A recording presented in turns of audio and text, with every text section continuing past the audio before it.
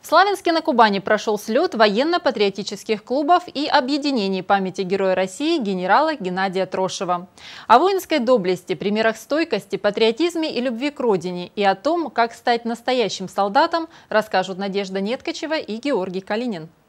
Чтобы стать настоящим солдатом, прежде всего надо быть патриотом своей родины, верным воинскому долгу бойцом, таким, каким был генерал Геннадий Трошев. Солдат, боевой командир, герой России. Именно на таких людей и надо равняться подрастающему поколению. Слет военно-патриотических клубов и объединений Приазово-Черноморской зоны Краснодарского края, посвященный памяти генерала Геннадия Трошева, в нашем районе проводится уже в третий раз. В этом году в нем приняли участие 14 команд из 13 районов Кубани. С напутственными словами к участникам военно-патриотических соревнований обратился вице-президент Фонда патриотического воспитания молодежи имени генерала Трошева Павел Анопченко. Пожелав участникам слета стойкости, мужества и смелости, дал старт началу слета.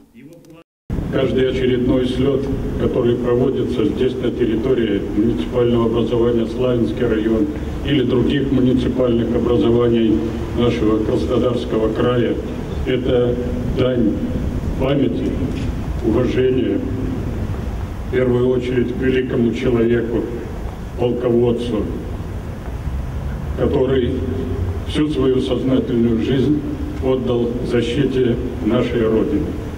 Организаторы соревнований, Департамент молодежной политики Краснодарского края, Центр патриотического воспитания молодежи Кубани при поддержке Фонда патриотического воспитания молодежи имени генерала Трошева, Славянского совета ветеранов войны и труда. Как отметили организаторы слета, уровень подготовки воспитанников военно-патриотических организаций Кубани является одним из лучших в России.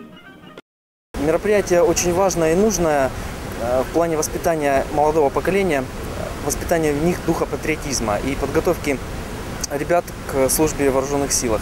А, мы считаем, что именно такие мероприятия важны и должны быть проводиться по всему краю, независимо от зон, и собирать как можно больше команд из других э, муниципальных образований Краснодарского края. Большинство ребят, юных патриотов, по окончании школы выберут военную профессию и продолжат великое дело Геннадия Трошева. Поэтому проводимый слет – лишь начало их длинного, преданного Отечеству боевого пути. Для меня это значит мое будущее, потому что я хочу свою профессию связать в будущем с армией, с военным училищем. Поэтому для меня это, это мероприятие как жизнь, моя душа. Такие мероприятия воспитывают в тебе как бы достоинство, как бы стремление. Стремление в первую очередь тебе воспитывают.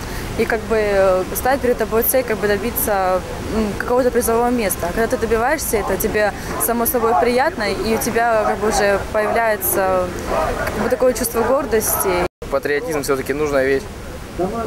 Эти соревнования к армии готовят хорошо, поэтому вещь такая нужная. Соревновательный день открыл конкурс строя и песни «Статин в строю, силен в бою». Чеканя шаг, нога в ногу. Ребята прошли по театральной площади.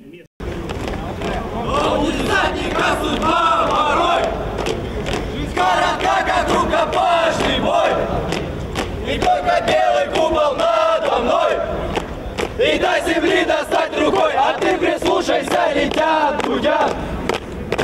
После окончания строевой подготовки ребята отправились в воинскую часть. Именно там их ждали настоящие испытания. Молодые патриоты на скорость преодолевали препятствия. На время разбирали и собирали автоматы. Метали гранаты и стреляли по падающим мишеням. Преодолеть и выполнить все эти непростые задания надо было за максимально короткое время. Кроме того, каждая команда участвовала в военно-историческом конкурсе. Все юные патриоты получили памятные медали и грамоты, ну а каждый участник – массу впечатлений, а главное – бесценный опыт, который пригодится им в дальнейшей жизни.